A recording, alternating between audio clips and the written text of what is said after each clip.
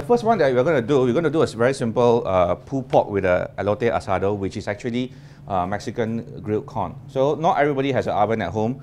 I'll show you some interesting ways you can um, troubleshoot the situation. All right. Now, uh, first of all, we need to get the pulled pork going. This one, okay, um, is one of the better cuts for doing the pulled pork. This is actually um, what we call the five uh, rope. Okay, otherwise also known as your pork shoulder collar. So this one is very um, uh, nice to, to do a pulled pork. What basically we need to do is just a quick seasoning on it.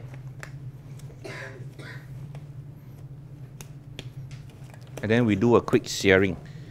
Okay, this is the roll itself. I got some Cajun seasoning. We just put this um, on it. Okay, if this is a little bit too big, all right, we can cut this into half. So we just do some Cajun seasoning on it. Okay, omit the um, salt because this one already has the salt, everything all in. So we just go all around the meat itself. Okay, if you like it spicy, the Cajun seasoning is not spicy enough for you, you can always add some chili powder or you can add some smoked paprika to it also, it's good also. So there's a quite a, a, a choice of seasonings that you can use. Then when your meat is already coated up, what we're going to do is that we're going to sear it. Okay, meaning you put it in a hot pan, brown the meat, but you don't have to cook it. All right, so we just brown the sides of it.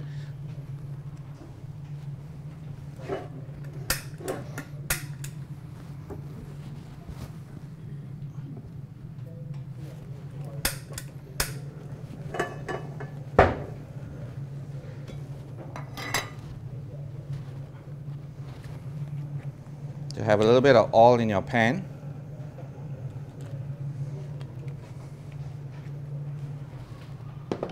And what we do is that we're going to brown this piece of meat, okay, front and back. Okay, as you can see, uh, today we got live streaming on Facebook. Going forward, this is the new technology. Less and less people are watching TV. So now, okay, we're going to do live streaming, we're going to do live sharing. Um, you guys will not be so much on it it's more about me. Okay, so cameras are all looking at me. So, but then still, okay, you might get. I'm still okay for you, you all to come in front and have a closer look if you want to, you know, need to. Um, just bear in mind that there's a, there's a camera behind you, uh, which means you might be in the stream also. So we have uh, a, some clearance that you need, we need you to acknowledge that sometimes you might appear, okay, uh, subconsciously. Um, going forward, all right, um, this is the way that we're going to rara the classes.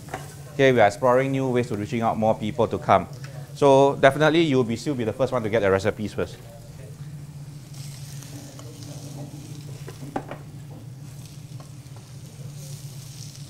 So you can see, okay, the pan is hot, you put your meat in, it sears up nicely, you hear the sizzling sound.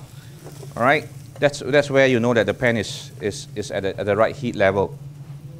So searing means you go around the, the, the sides of the meat, okay, brown it all over.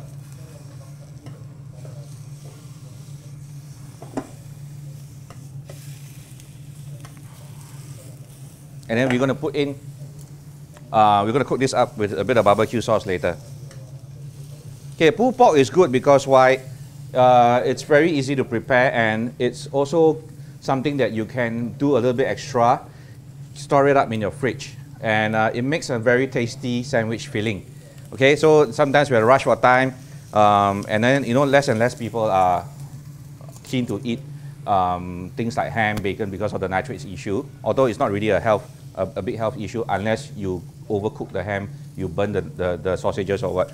But still, people are trying to move away from processed foods. So the next thing that comes really nice as a sandwich filling or a simple burger filling is actually pulled pork. So you can see that now a lot of cafes, a lot of restaurants are serving pulled pork sandwiches also.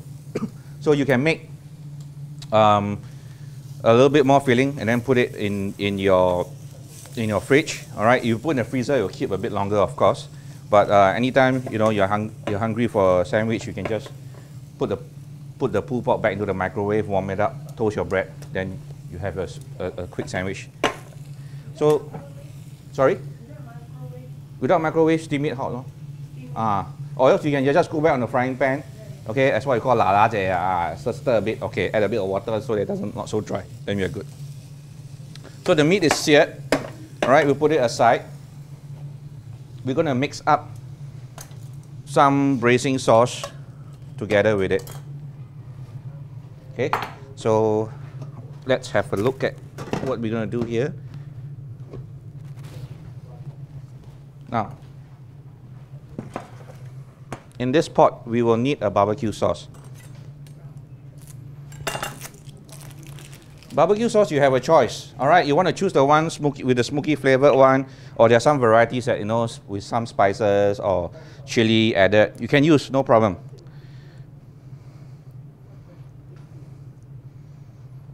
So this one is uh, one of uh, McCormick's newest products. Selected supermarkets have. I think Cold Storage is, is hold. This is a barbecue sauce with a bit of um, smoky flavor tagged to it. So from here, we boost it up with some ketchup and chili sauce. Okay, the chili sauce we're talking about here is the table chili sauce, which is a bit sweet by nature. Okay, we're not looking at things like sambal, chili, and not, not that kind. All right. So from here, we need some water. Let's get some water in. Okay, you're going to bring this up to boil. Yeah. Chili sauce, uh, two, three tablespoons is fine. Okay. Now, uh, braising the pork, there is a choice. Okay, if you want a quicker method, you do it at 180 degrees, about 90 minutes. Okay, your pork should be quite nice and tender. Um, if you don't want to have so much shrinkage, because when you when you cook at high temperature, uh, the meat shrinkage is always higher. So if you can afford the time, all right, you might want to cook it at a lower temperature, which generally speaking doesn't make the meat shrink so much. Of course, it will still be tender lah. But uh, when you talk about a lower temperature, it means also a longer time. That means you have to go a bit longer. Uh, like for me, uh, what I will do is that I will put this in the oven a little bit later in the night, just before I go to sleep. So I, I lower the temperature down to about 140, 150 degrees. Then I let it sit for about six hours. Tomorrow morning I wake up, I come back, the thing is nice. Okay, and you don't, you won't see so much uh, shrinkage um, of the meat as well. So what we do now is that we're going to get this thing ball up.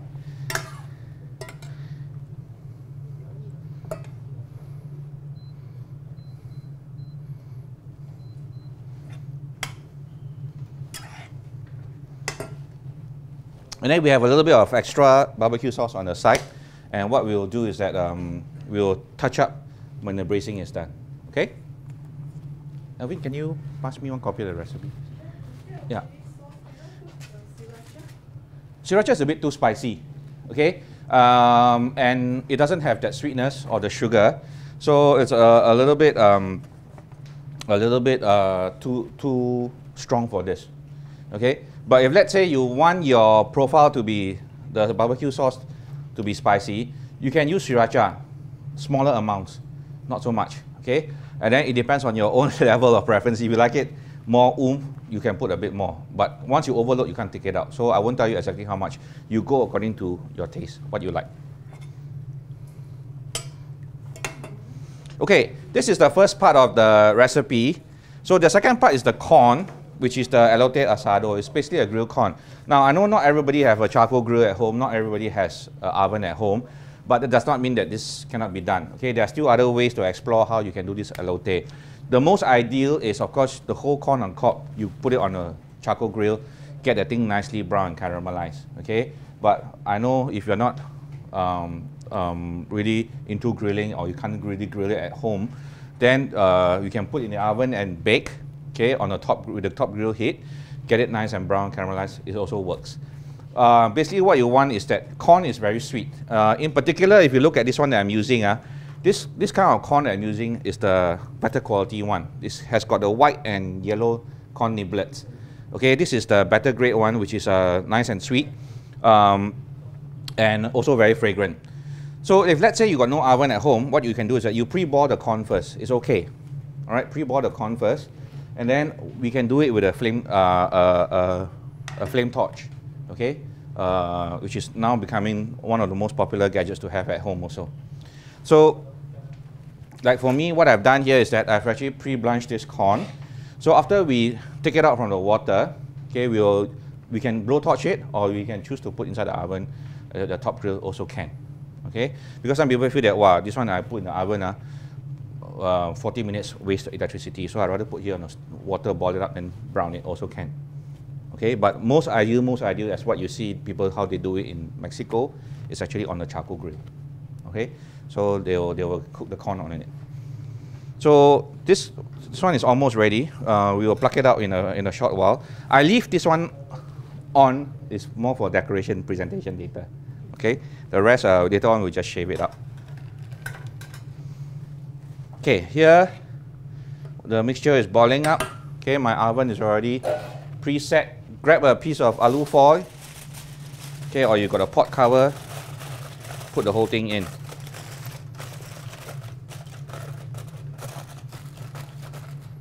Okay, we leave it to braise for about an hour plus. Come back to it.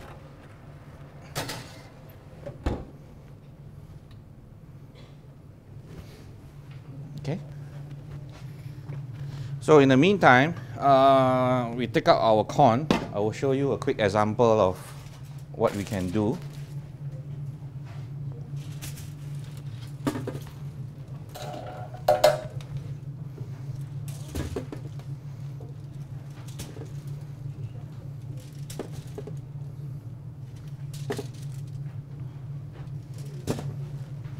Okay, some people will ask, do I need to butter the corn or not? In this aspect, I would say no. Why? Because later on you see the sour cream that's coming in. There is um, cheese, okay? So if you do the, if you butter the corn, it's, it's going to be too rich and too heavy. So what we'll do now is that if you're going to put into the oven to brown it, yes, you need a little bit of butter. But if let's say you're going to go by this method, the flame torch, then you'll be very fast and quick. Okay, so this will also help to create caramelization okay, on the corn itself.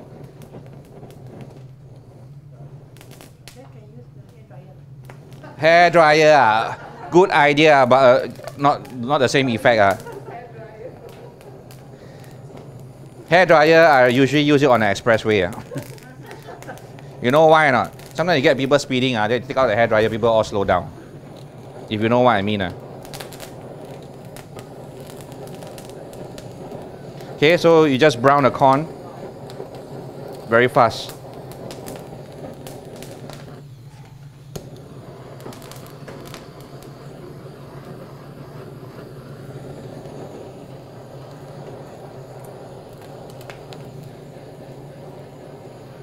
Okay, that the the corn slightly a bit brown like this, uh, it creates a nice smoky profile.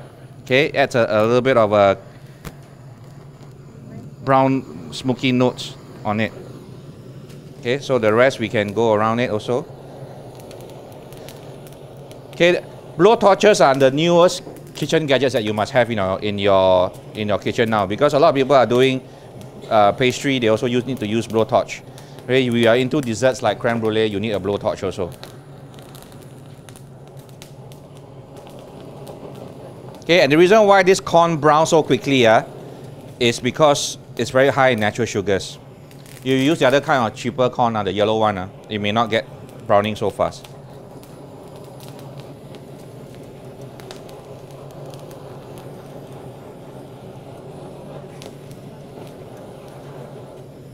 Okay, there goes the second one. Okay, remember uh, when you do blowtorch, your container must be all metal. Uh. Some of the simple um, things that you need to look out for.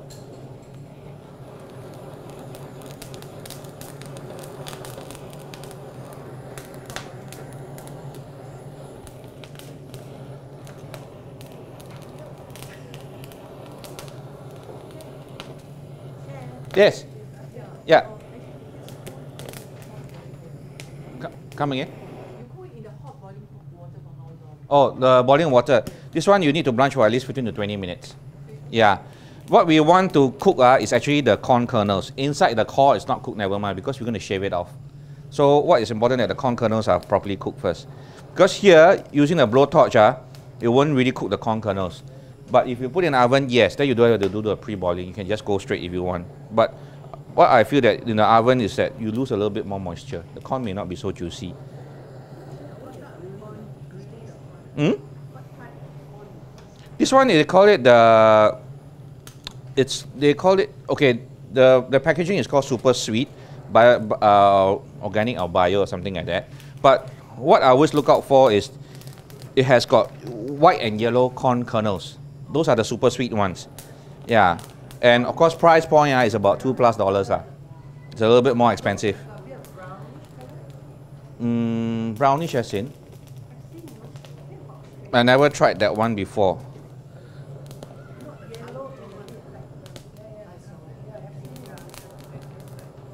Anyway, there's no harm experimenting. If you see new things in the supermarket, just buy and try lor.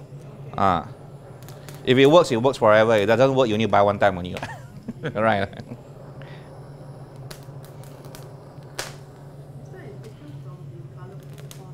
No, different. Some of those colorful corn that they use for display are not necessarily is edible. And some corn is very glutinous by nature. So these are more the regular ones that we, we find on the table. Yeah, I've seen those, before also. Okay, two more to go.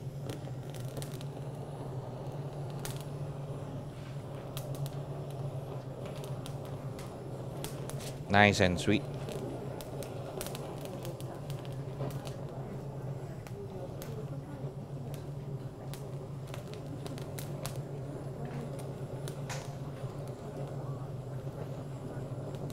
Actually, one thing good with this method with the blowtorch uh, is that it burns off the loose beard also. Because corn, you know, got a, lot of the the the loose beards. Uh, you can just burn it off.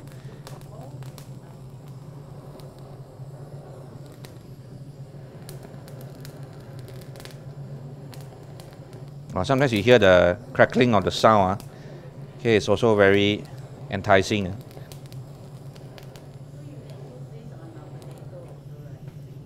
Sweet potato, yes, but you won't you won't get so much uh, burning, uh, browning. Uh.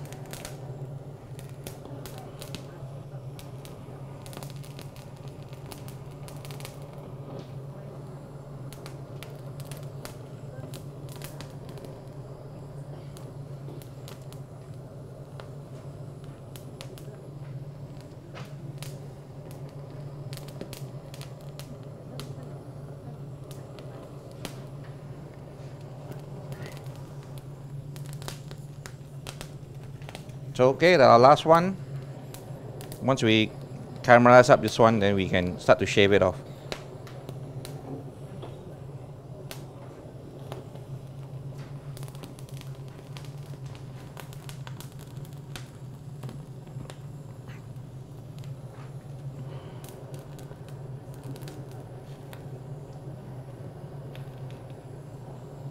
Okay, we're almost done.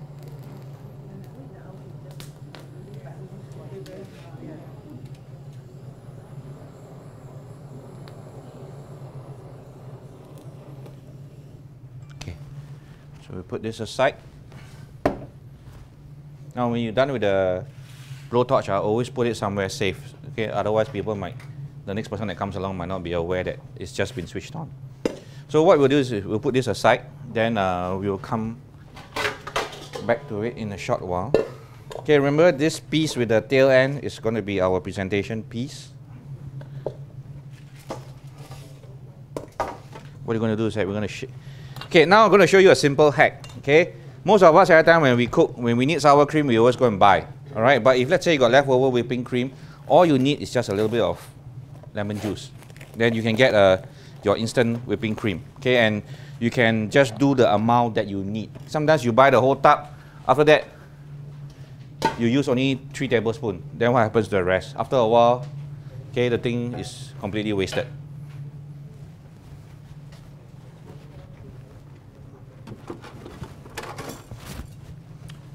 Okay, so what you will need some whipping cream.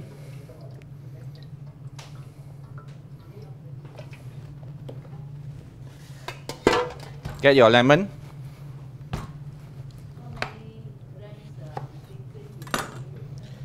Okay, this one averagely we're getting about almost uh, 150 to 200 ml. Okay, so roughly can go a little bit more if you want. Squeeze your lemon juice in. Okay, this one seedless lemon, so easier to, to use. You start beating it up. Instantly, you see the cream thicken up already. Straight away. Huh? So instantly you have your cream. Just need to make sure that it's completely whisked up. Okay, the acid will curdle up the fat. So you, you know, mix it up.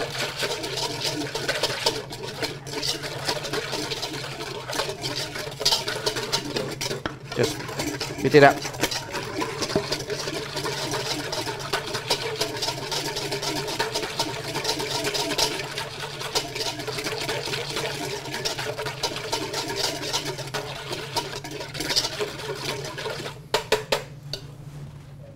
Okay, once done, keep it cold. Later on, we come back to this because we're going to add some other stuffs in. But in the meantime, we shave the corn first. All right.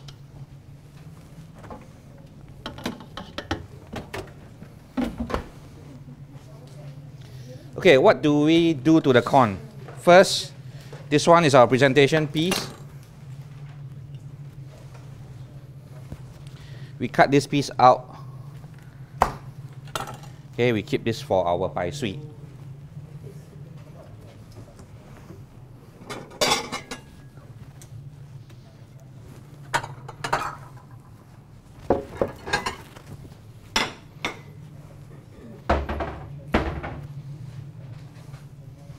So put this aside.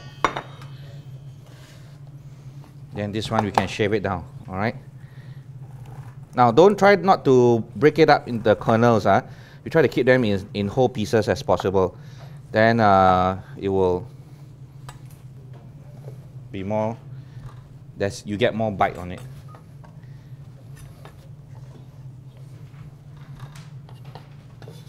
So we put this shaven corn kernels back in.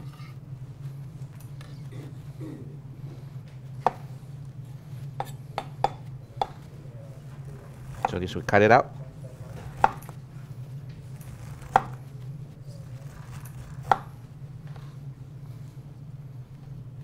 Okay, break it up.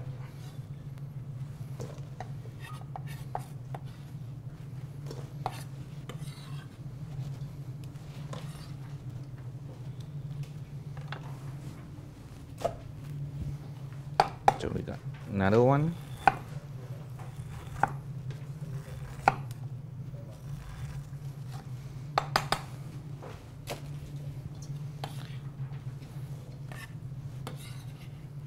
Okay, if you ask me, can I play cheat? or? Can I buy frozen corn kernels and then fry it in a wok and then get it all brown like that? Can I do that or not? Actually, there's nothing wrong, but it's not being true to the recipe. Okay, and what it happens is that here you get the bits and pieces, you get kernels and you get chunks like this. So um, that you can't achieve with um, frozen corn kernels. All right, but sometimes if you want a shortcut and you know the frozen corn kernels are actually um, also cooked already. So the idea is just to brown it in the pan over high heat. Well, there's there's nothing wrong about that. It's just that uh, that's not being true to the recipe. That's how it's traditionally being prepared. So what I'm showing you here is um, as close as possible to what we can manage you know, in our own kitchens at home and yet still not deviate too far away from the actual recipe.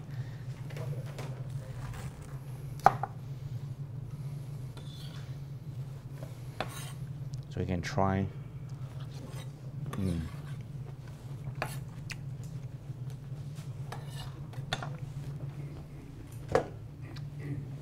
Very nice and sweet.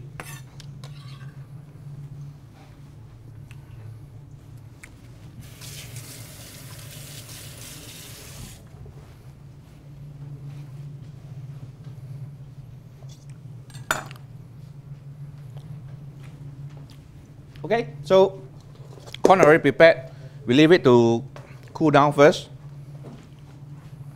Then, in the meantime, we can add in some other stuff that's going to go in. Um, we have got this one, uh, chopped tomatoes. Then we got some onions also. Let me pull out the onions. Okay, red onions. A couple of them in. This is diced tomatoes.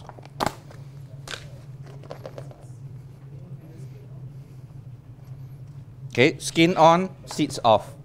All right, so diced tomatoes already. Sorry, red onions, yes, for color lah. So what we can do also is that we can chop some fresh um, coriander or cilantro as they call it. Okay, remove the roots. Okay, a lot of Mexican food revolves around fresh herbs like coriander, parsley, okay, and their local version of oregano. So this it adds a lot of zinc to the whole thing. So just chop it up.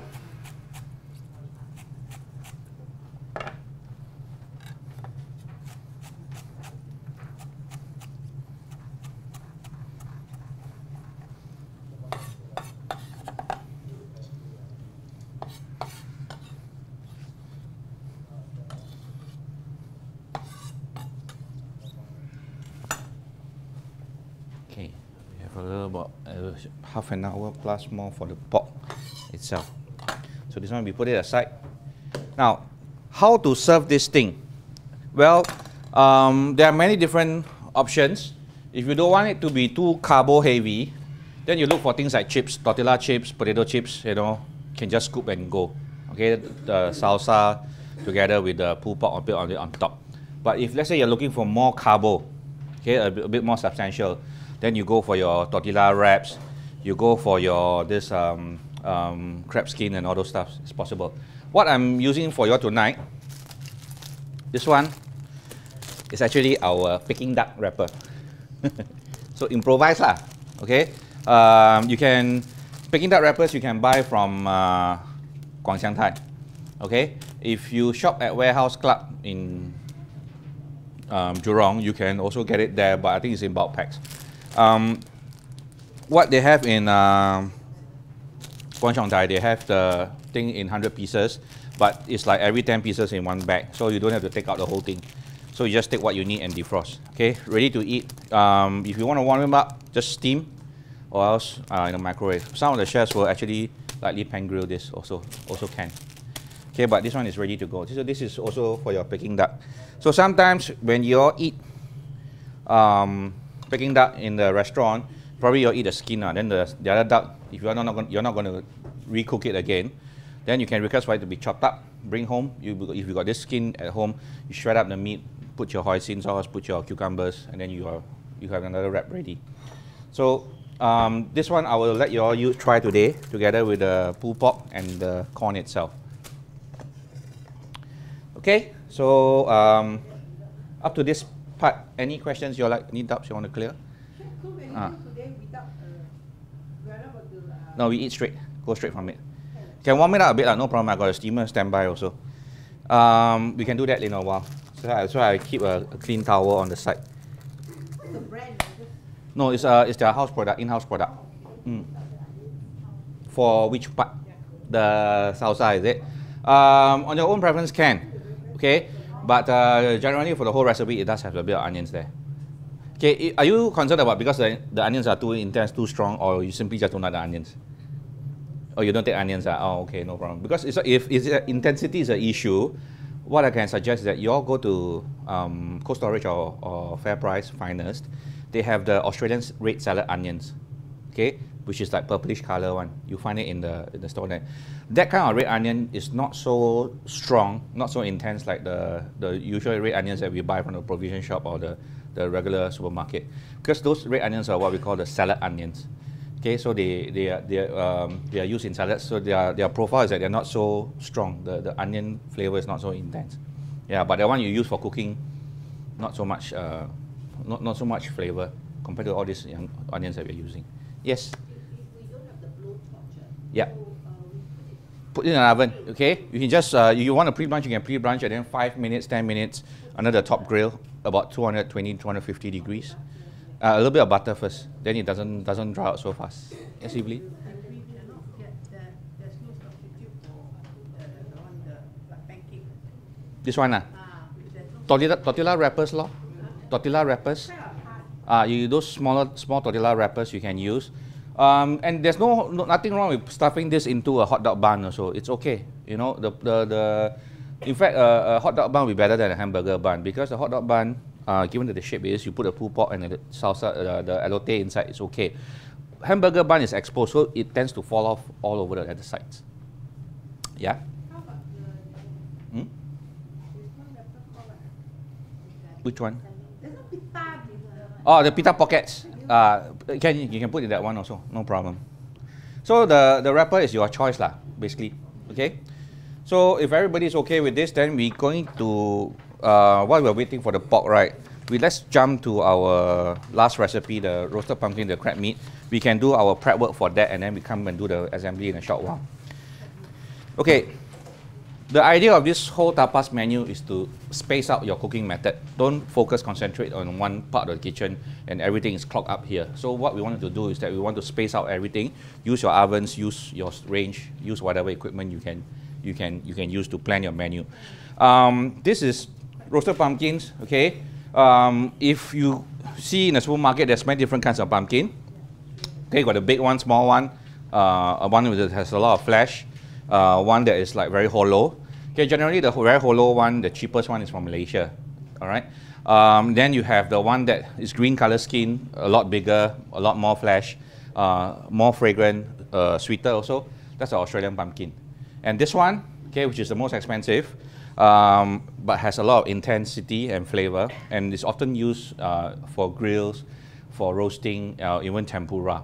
Okay, this is the Japanese pumpkin, and this is the only pumpkin where after cooking, the skin you can eat it up also, palatable.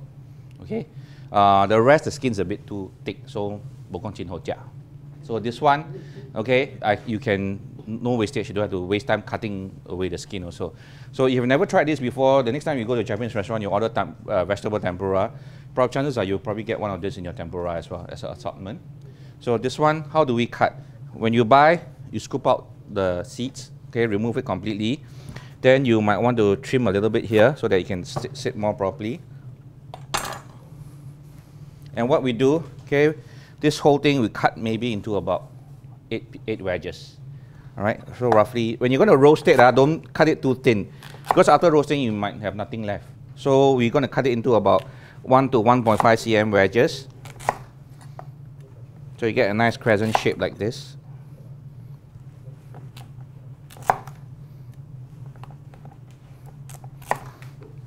Okay, the thing that you need to look out for is these pumpkins are sold already cut up and cling wrapped. Okay, when you choose, look carefully. Uh, because sometimes the stock is a little bit old. Uh, the seeds that part already start to have mold. So just keep a lookout for that.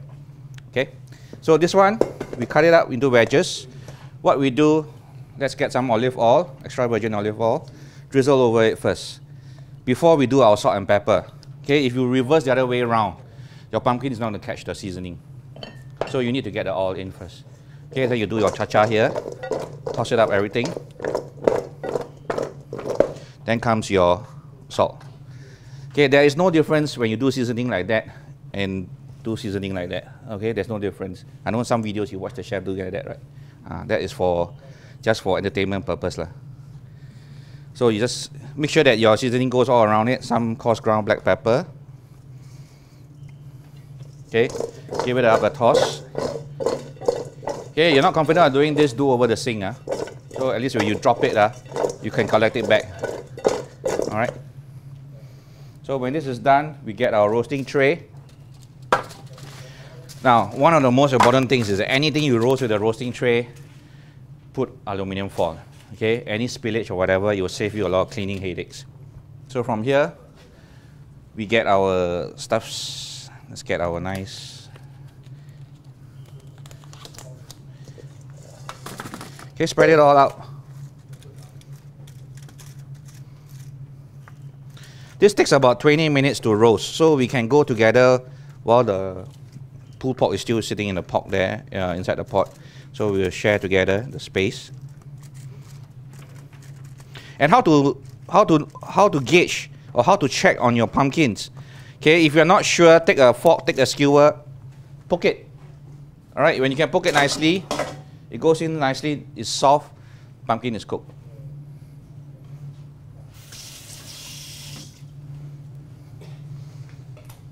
Okay, so there you go. Before I send it in, you'll take a quick snap.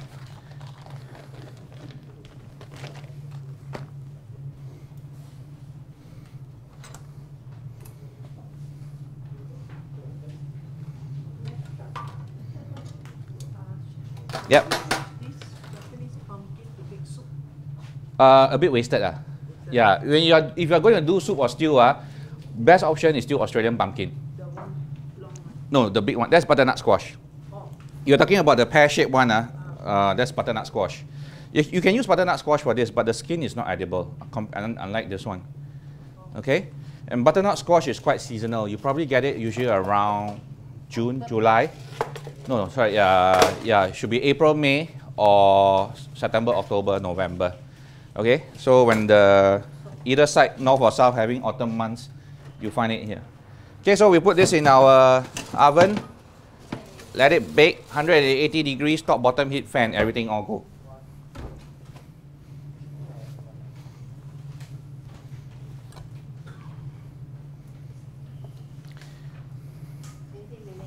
Yeah, about 20 minutes. So go set it also, no problem. Okay. Now, in the meantime, while the pumpkins are being roasted up, what we can do is that we can prepare our crab meat. Okay, this also can be done ahead, but I would advise that you do your sauce and the crab meat separately. Okay, you mix it up only when you are ready to eat. Because if you mix it up too early, say maybe about half a day too early, uh, what happens is that you get a whole lot of moisture le- leaching out. So what I would suggest is that do your mayonnaise first. Okay, your wasabi mayo. We're looking at this one. This is the canned one.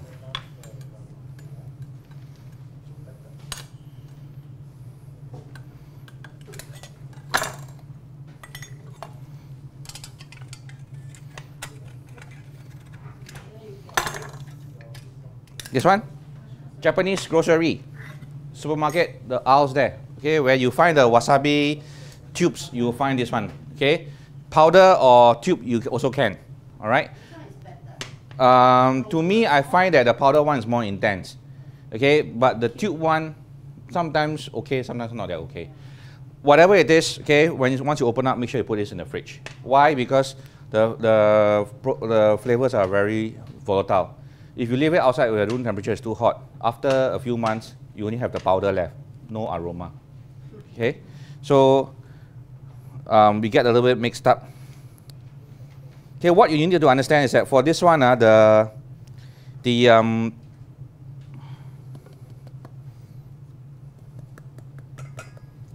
the uh, flavor of the of the sauce has to be a bit more intense because your crab meat is is is quite bland. Huh?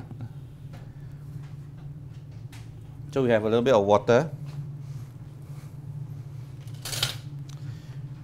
We do a quick mix up. Why is it that we must go through this step? Why can't we just put this straight to the mayonnaise? It works also, what? why not? Yes, it does. But what happens is that, yeah, yes, correct. You get lumpy, okay? And then, and then the person that cannot take wasabi one, uh, if it's lumpy, uh, bite on it, uh, wow, you see the veins here all popping out already. So it's better that you do, a, do it a little bit more thorough. Mix it up, everything into a paste. Make sure that you don't have any loose lumps around. Ooh, so hot that you know I can feel it in my eyes. Then our mayonnaise. Okay, this is what we call real mayo. Okay, not the starchy starchy type one.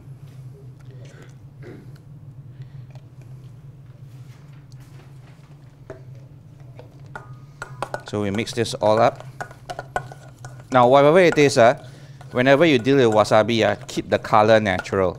Okay, the last thing I would actually encourage you all to do is to add food coloring to this. I know a lot of Chinese chefs are doing it in their kitchens for wasabi prawn, but it makes the whole thing look so artificial. Okay, what you want is the natural green color. Okay, because the wasabi is only very little, so you don't expect it to color the whole thing green. Okay, can you imagine for people who really know what wasabi is, they look at the green color the, on, the, on the wasabi prawn and they see, look at it, it's like, wow, how much wasabi you put inside there. So what we do here, we've got the crab meat, can one. Okay, take the whole can in. Hmm? Crab meat straight away. Yeah, Can eat like that. can eat like that. Okay, we're gonna put some spring onions inside here.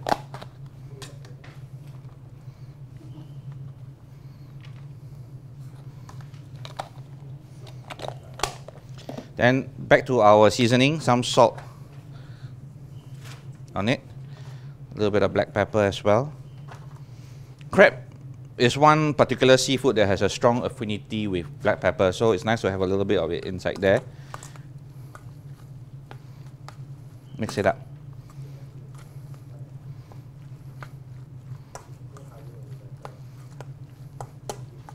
So we have this.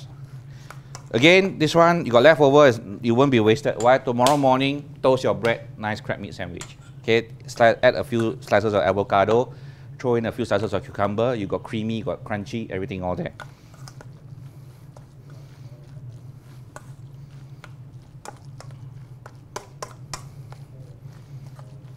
If you, if you do your own sushi at home, okay, you can use this as a topping. Your hand roll, tamaki, you can use this as a filling also. So whatever it is, before you serve, always do a quick taste check.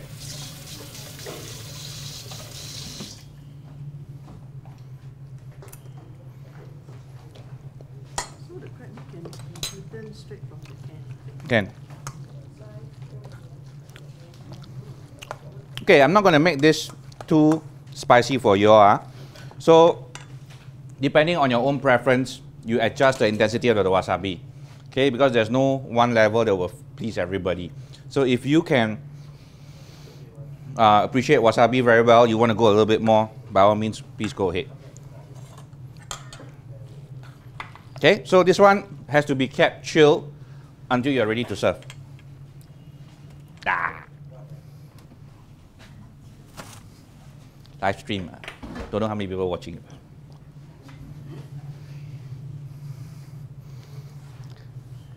Okay, so what we do is that once the pumpkins are ready, okay, we let it cool down, then we can do the assembly. Okay, so any questions for this one? Quite easy. Now, um, bonito flakes. Just now some of y'all were asking. Huh? There are many different kinds of um, bonito flakes you can look at. Uh, some already mixed and flavored with um, other condiments like, like um, sesame seeds, okay? And then there's uh, also some like this one. Okay, this one is a, is a mixture that I got it from Taiwan. So locally, you can use your basic katsuobushi, which is your shaved bonito. You can sprinkle that on also. Um, you can buy uh, in the in the Japanese supermarkets like Isetan, Meidi-ya. You can buy those already pre-mixed like this. Also have. Um, in the worst case scenario, when you don't, you cannot get this one. You know, the other substitute is you all know what is the, the seaweed condiment, uh, furikake. Sometimes you put on rice that kind one. Ah, you can use a little bit of that also. Nothing wrong. Ah, so you can just buy lah. Okay. So remember this kind of thing, ambidextrous, takes in moisture easily.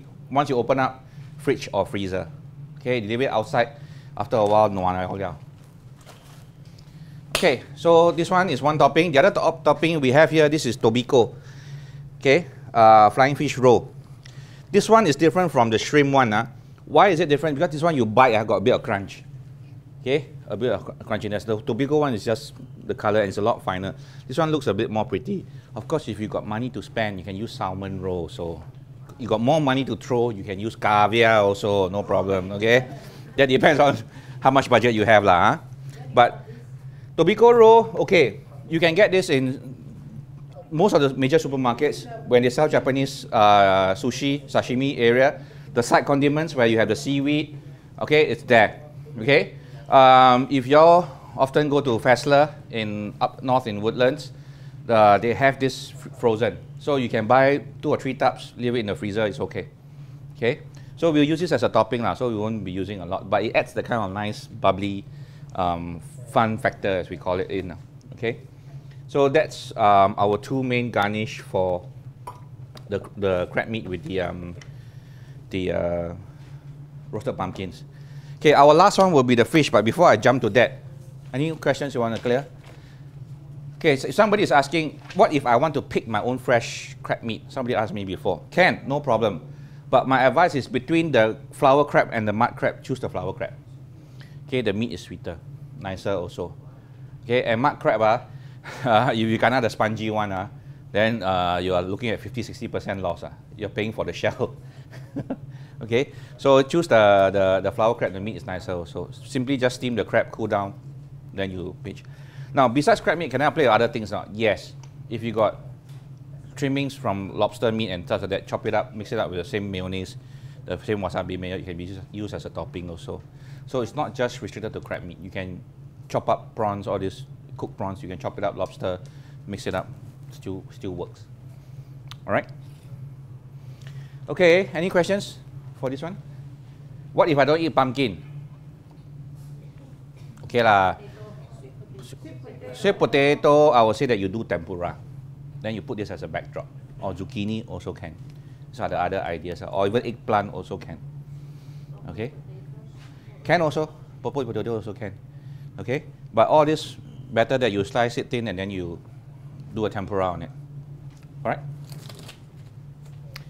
Okay, just a quick check. Hmm? Chop, prawns. Cook ah. Prawns must be cooked ah, not raw ah. Not, you're, not, serving uh, tata here. Sorry? Ah, poach, poach the whole prawn and cha, cha, cha, go up on it. Okay. The sweet potato or zucchini. Mm. Eggplant also can. The cheapest method. You know it's kanimi crab stick? lah? ah, up to you lah. I mean, say, I know not everybody likes it, but that is the cheapest method lah. You know, bo budget to bo budget yeah lah. Got budget to zhou budget yeah lah. So depends on what you want lah. But I'm not saying that one cannot be used. That one can be used also. You'll be surprised that kids actually love it. Okay, this one is very easy to to, to for for kids. You know, not not difficult to cycle them to eat. Lah. Okay, so we come back in a while. What are we going to look at next? Let's we do our fish. Okay, our last recipe before we do our final assembly. Fish again, there's two part. You have the douban mayonnaise itself. All right. Um, this douban mayonnaise is actually like a fusion thing. Okay, it has a, a element of uh, something like uh, inspiration from a, from a cocktail sauce. So again, we're looking at mayonnaise as our base. Then we need a ketchup, chili sauce. Okay, and this one, this is Douban.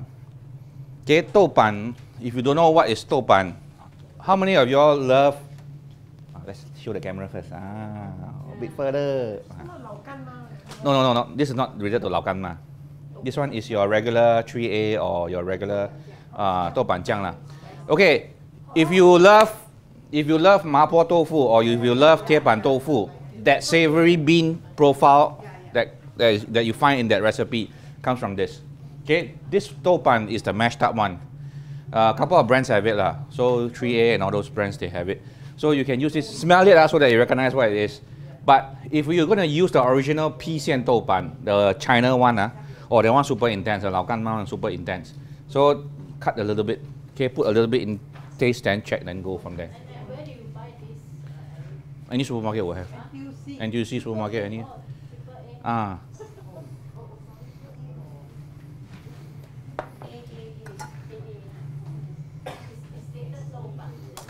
Yeah. Chinese character ah. You ask the the lady, they should know lah. Usually label it fermented hot bean paste or uh, broad bean paste or something like that. Okay, so how do we do this? Uh, again, we get our mayonnaise out.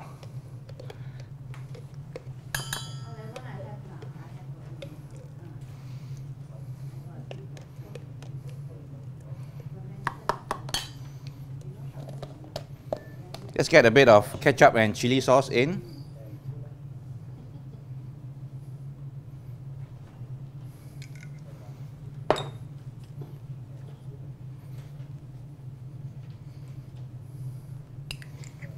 Okay, so what do we have here? Next will be our douban. So are you all ready? You already giving back the douban, please? Otherwise, we will go with the wine first. This is Shaoxing ah. Okay, this Shaoxing uh, point to take note. If we are using the cheap sao Shaoxing at home, ah, ah, or less than that, ah, don't use. Okay. No it's not. No, it's not no taste. It's salty. Kiam ah. and douban is kiam also. Then your sauce become too too salty. Okay, if you want to have that wine aroma on the background, then you must use the the, the one without the salt. Okay, which is this one, the kind of twelve ninety five or thirteen dollars a bottle. lah. Yeah. Okay. Douban is back here. So we put some of this in. Then you mix it all up.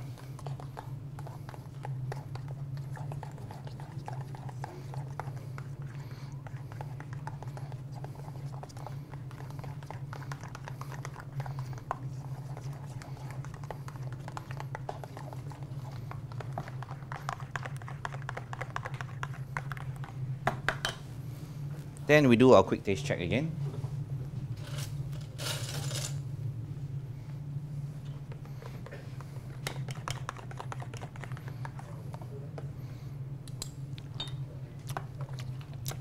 Okay, sauce. A little bit of that fermented bean notes on the background. When you eat, when you want to appreciate this, uh, don't swallow too fast. Okay, you need to you know, have it in your in your tongue for a while, on your palate for a while, then you feel the, the broad bean paste coming from the back. So the egg yolks, that's that's what we're gonna use it for garnish.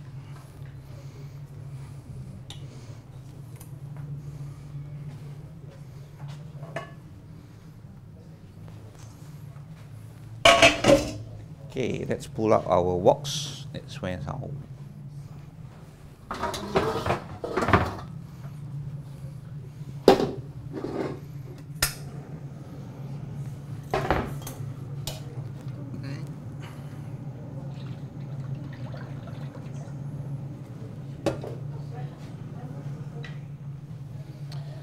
Okay, what can we do next? Let's do our fish. You You want me to pass it down or easier for you to take pictures? Uh, lakio ah? Lakio, the... Uh, I never tried before, but no harm trying ah. But that one is a bit vinegarish ah. Lakio is a bit vinegarish. Seng seng ah, that one, yep, correct.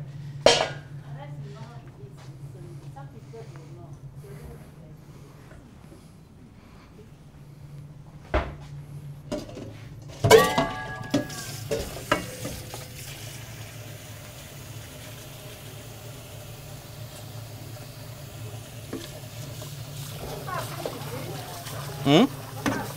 Dory.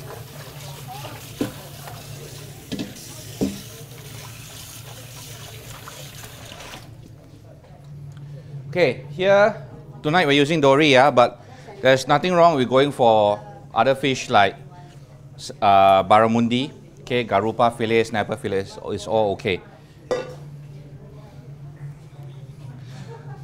Of course, if I can find sponsors, I will mind. Okay, what do we do with the fish? Okay, cut it into finger slices.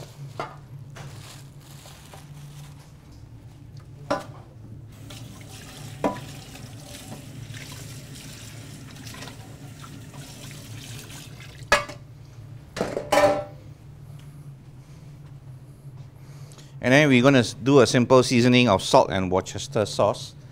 Uh, okay.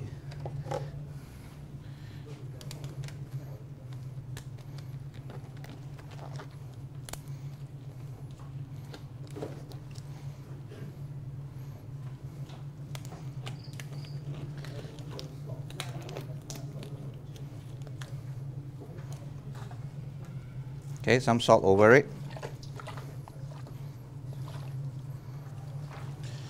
Worcester sauce is also known as your L and P sauce, uh, generic, genetically A lot of people go by LMP.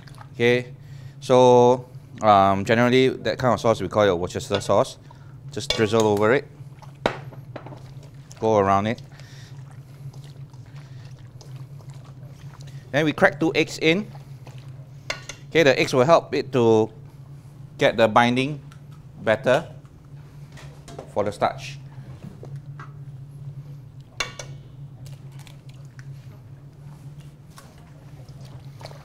Okay, so kind of like massage the fillet a little bit. Lah.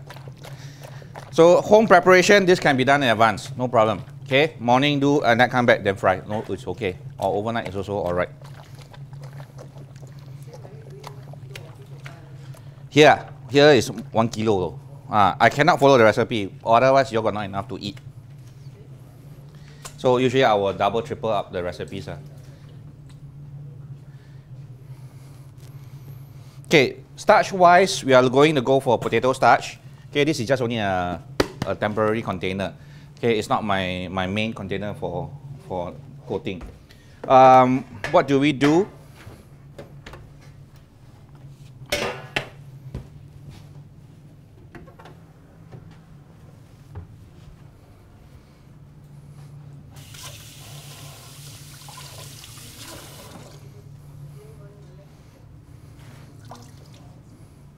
Okay, we check on the pumpkins first. Looks nice and brown.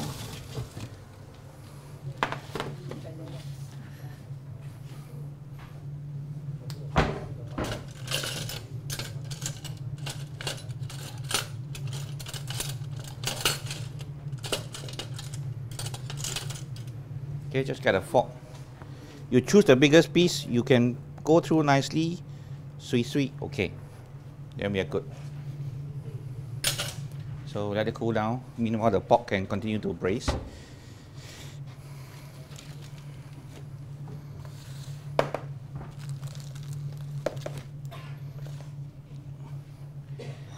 Okay, let our cameraman see. Oh. The skin, ah. Huh? You don't remove the skin. You can remove the skin also can, no problem. But the beauty of this pumpkin is that this is the one that you can eat with the skin on. That's the beauty of it. Yes, nutrition is there also. Okay, whatever. At the very least, you're getting a lot more fiber and roughage. Okay, starch-wise, we will still use potato starch as our most common one. But if you only have one kind of starch at home, which is cornstarch, it's possible. It's okay. Okay, same thing. Tapioca also can starch can be used also. Season overnight. Do we put in the egg first? Yeah, all in. Okay, before we fry the fish, I'm going to fry up a little bit of. This is what I have here. This is uh, curry leaf. I just fry it for some um, um, garnish that we're going to use later. Cameraman, want to come over now? okay, so very simply, Is that curry leaf? basil. Ah, no basil, then forget it.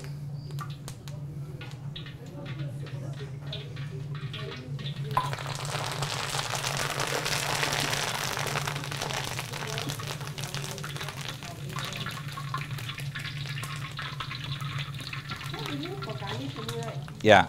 Okay. Uh, one thing just to remind you guys, uh, a lot of time people always think that deep frying you need a huge quantity of oil like this. No. For the recipe amount that you're preparing in the according to your handout, you can actually fry in a pot like this. Just about 5 to 6 cm depth of oil is good enough. You fry in batches, then you don't have to use so much oil. Okay, that's the way to, to manage. Because you know, if every time you cook a deep fry recipe, you gotta open up, you gotta use up so much oil, then you're gonna waste a lot.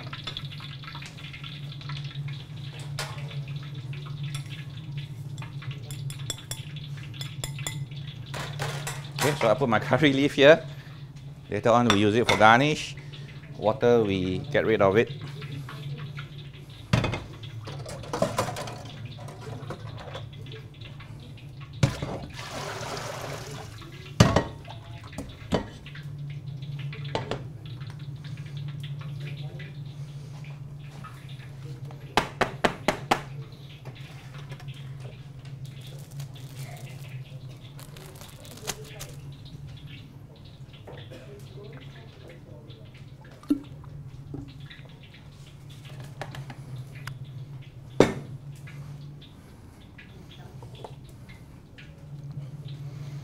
So let's have some of the fillets coated up.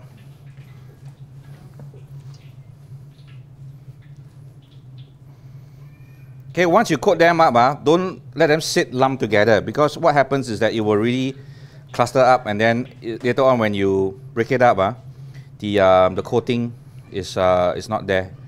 So it will, it will be stuck on, one, on, on each other. So what we do is that we loosen it up after we get it coated up.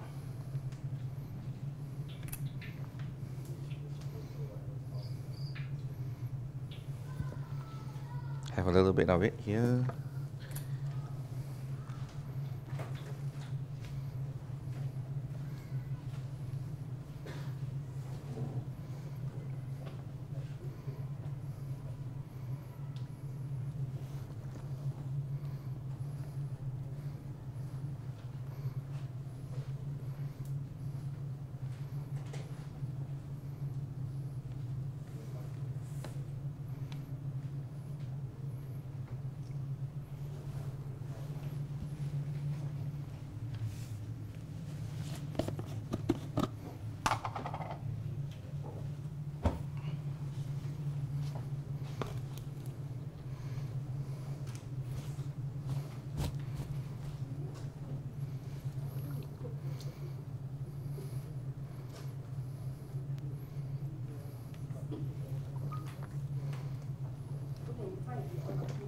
Okay, so let's get this thing.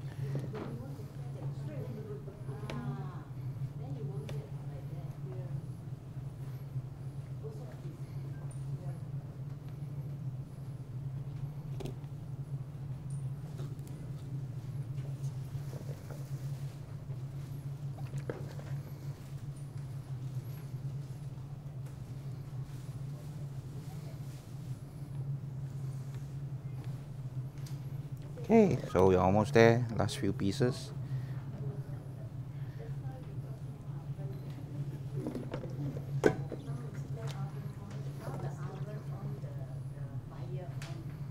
Ah, just now you all felt cold, right?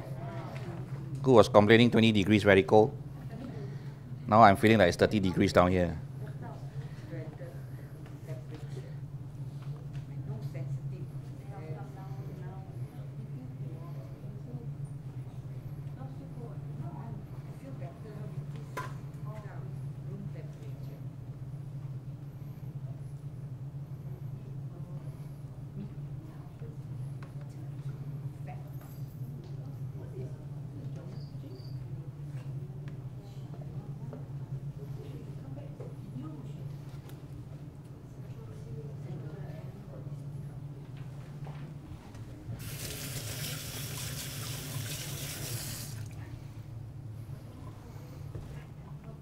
Okay, let's just get this.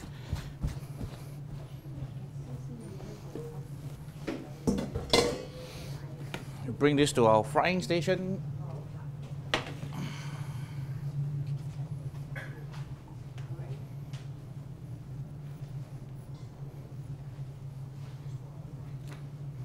Then we get this out.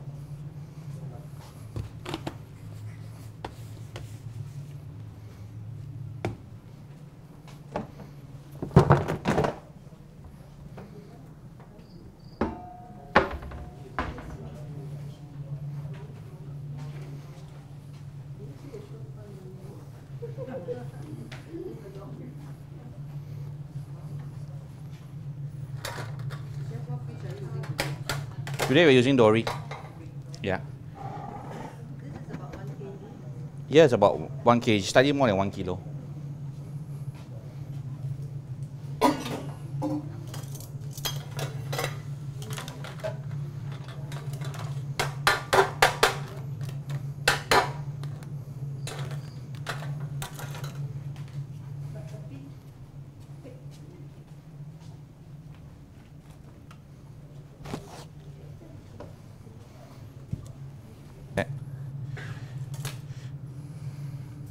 First piece go in, okay, you watch, you see, no reaction means your oil is not ready. Okay, if it's vigorous like this, then it's good.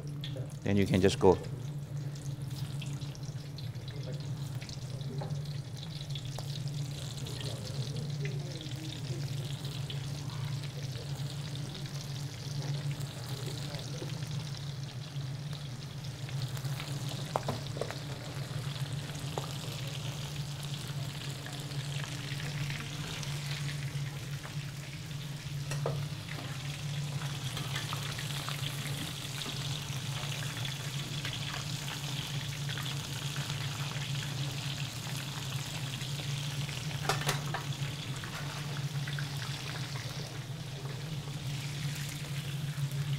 look at our pork. We should be almost there.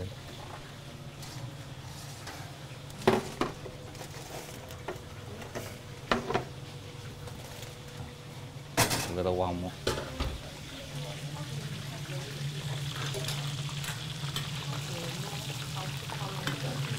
How long to fry? Okay, the telltale sign. Usually when you're frying it, okay, most of the food when you start to float up, that's an indication that it's cooked. Then you wait for the, the right color also. Okay, a little bit more golden brown. So once it floats up, it's telling you that it's almost cooked already. Steamer, nothing. We just nothing inside there. Got water lah.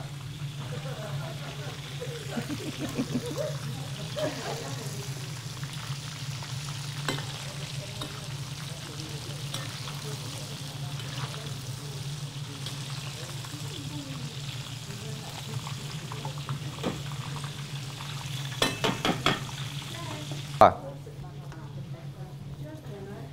Yeah. Ah. After fry first round, then they after that uh, they then fry second round. You mean the double fry, is it? It's to get a crispier texture. Yeah. But the second round of frying also dries out your food. So it really depends on what you want. If you want a piece of fish that is more dry but crispier, then double frying, no? that's what they always do. Will it keep uh, crispier longer? Not necessary. Because as long as you still got moisture, you still got steam coming out from the food that you're, eat, you're cooking with, that steam will also uh, cause the, the batter to puncture also.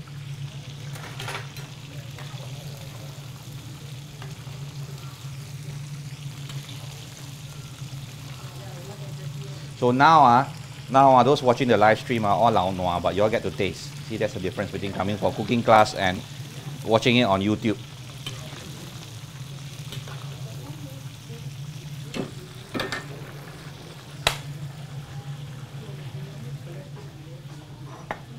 Okay, we reserve some.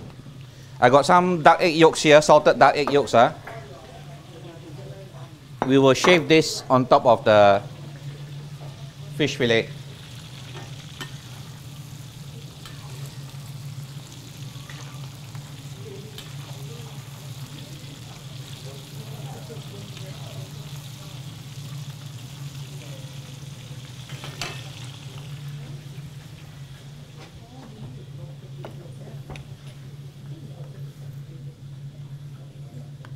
Put a little bit on each piece of fish.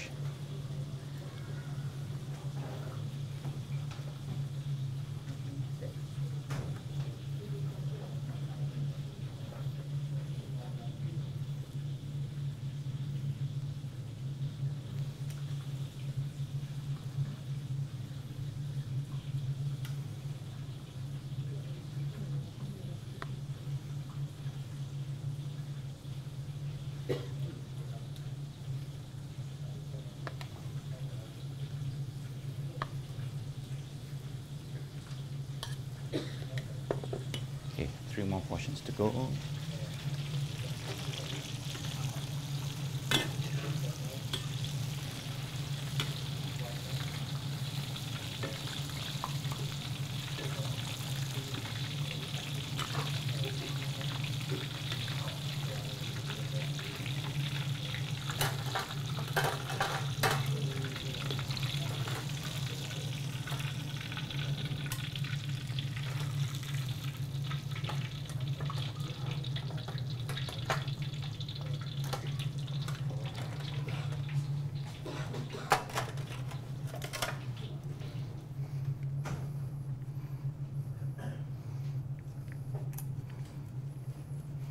This one's optional lah, ah, but you want nice color contrast.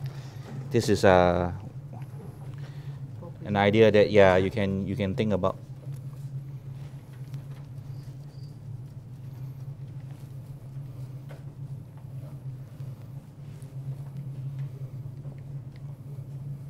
Okay, later I'll do one for plating. Ah, don't worry. Y'all take this one and makan first.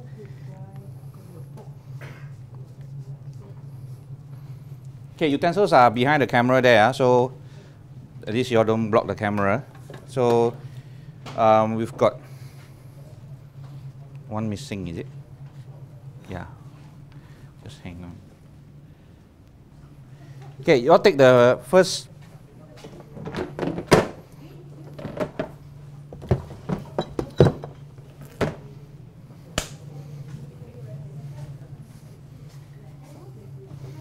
Yep.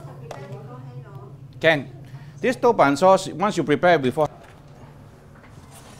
Okay, this one is our pulled pork. Huh? Just put it aside first. It's not very soft yet, but we will still let it cook for.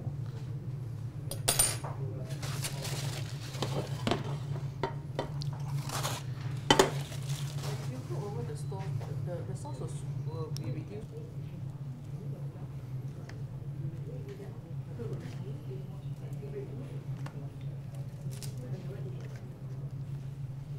Later, uh, when you try the pumpkin, uh, make sure that you go for the whole thing. Right, don't don't omit the skin. You never eat the pumpkin skin before, just go for it. This one is roasted. It's very nice and sweet. Okay, our wasabi crab meat.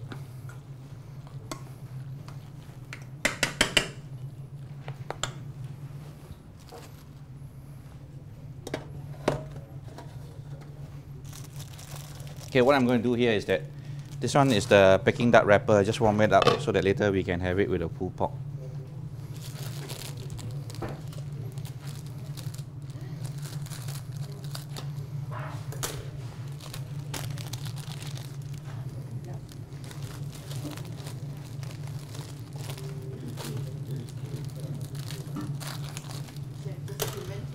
Mm. Yes, that's hoisin sauce. Tianmian also they use, but sometimes they cannot find Tianmian they'll go for hoisin.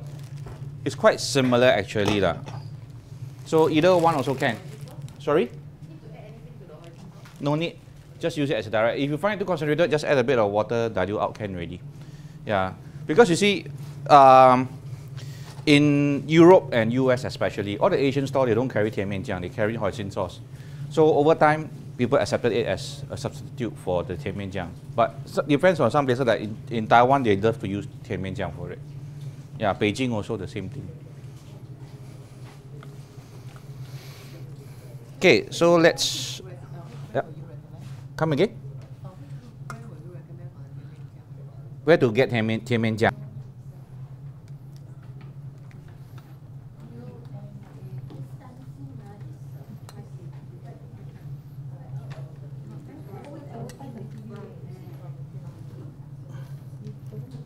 Okay.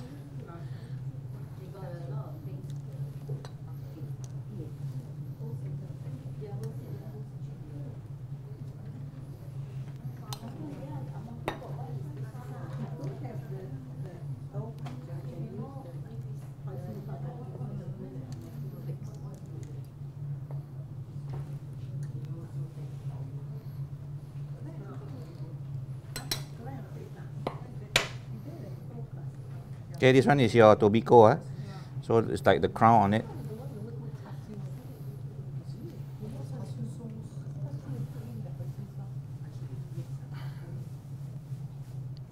Char siu, ah. Yeah, we had some the recipe that I shared. We all got some hoisin inside there.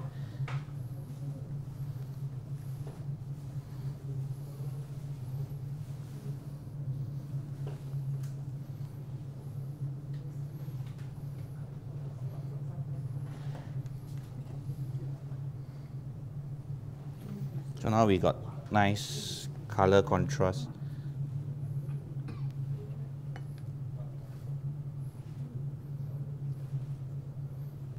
The first one?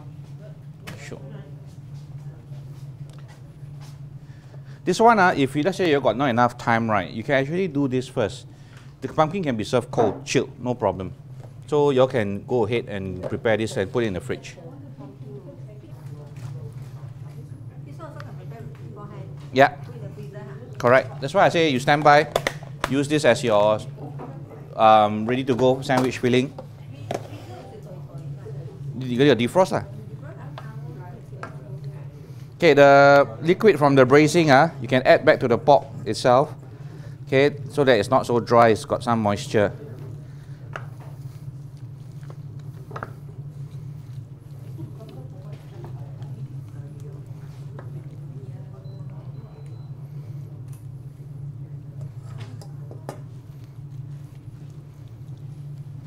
Okay, so in the meantime, we can mix up our elote because you shred it. Um, yeah, so that's the, the pulling motion. Okay, so what we do with this, um, this one, right? Okay, the sour cream is here. ah. Put all the mixture.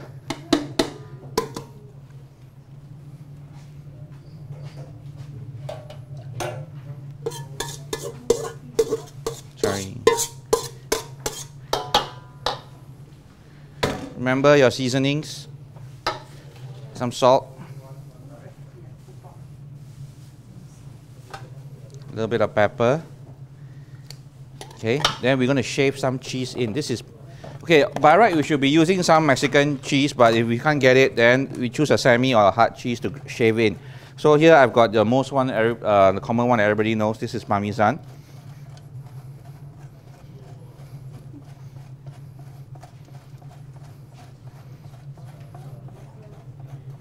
You don't have parmesan? Uh, you can go for others like manchego, it's fine. Okay, you can shave a little bit of um, uh, cheddar. I mean, jack cheese is not really that recommended, but you can still, in terms of flavor wise, I'll still prefer either parmesan or manchego.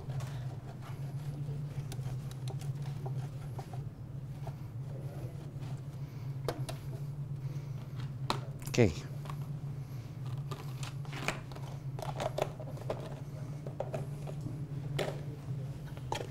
So we mix everything up.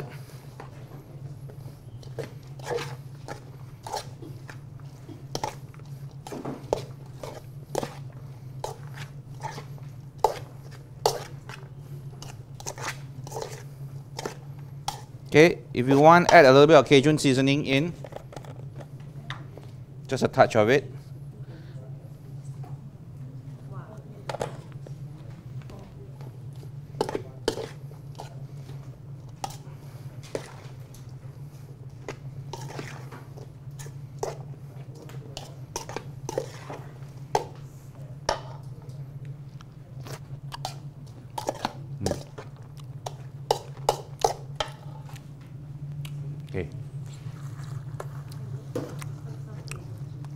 Was the pumpkin and crab meat?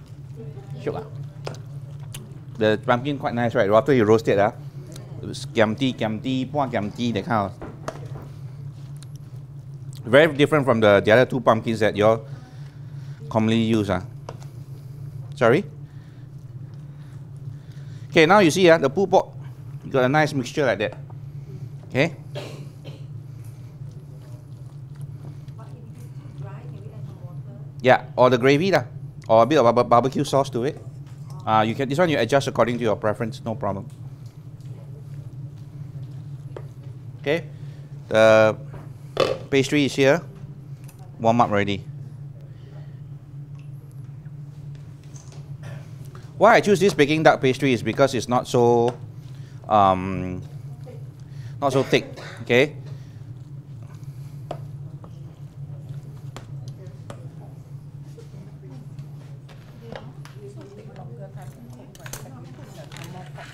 what's that? It.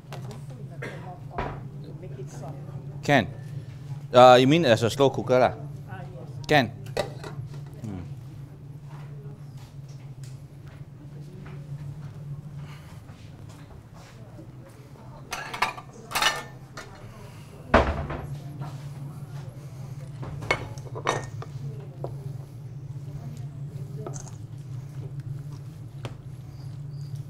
So we do a quick taste check on this, then we will know.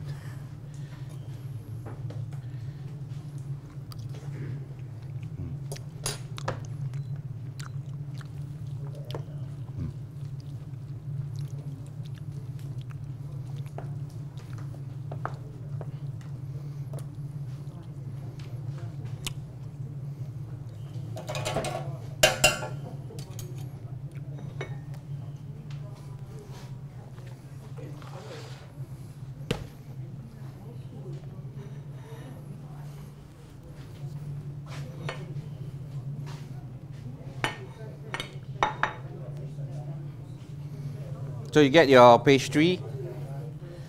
All right. I'm not gonna wrap this up fully lah, so that y'all can see. You can get a bit of shredded cucumber or lettuce as your base if you want. And some of this elote on it. This is on its own, ah. On its own is quite nice. You can actually eat this just with the, the, the chips. This one. All right. Can just take it like a corn salad. Also, it's quite it's quite nice. Or if you want to go so-called almost vegetarian, then you skip the pulled pork. Just wrap this up and. Okay, here you can smell the pulled pork. This one has got a bit of the smoky barbecue sauce inside there also.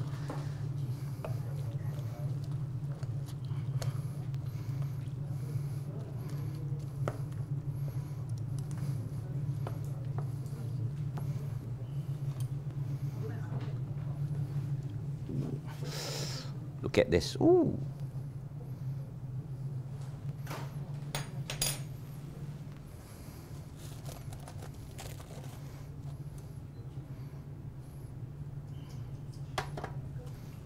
Just for photography lah. ah. Y'all go for this. And I'll make the the pool one for you guys.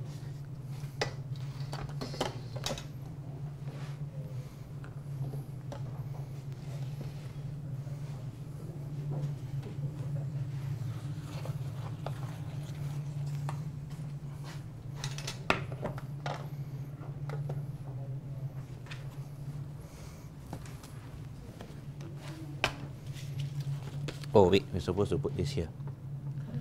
Ah. Okay.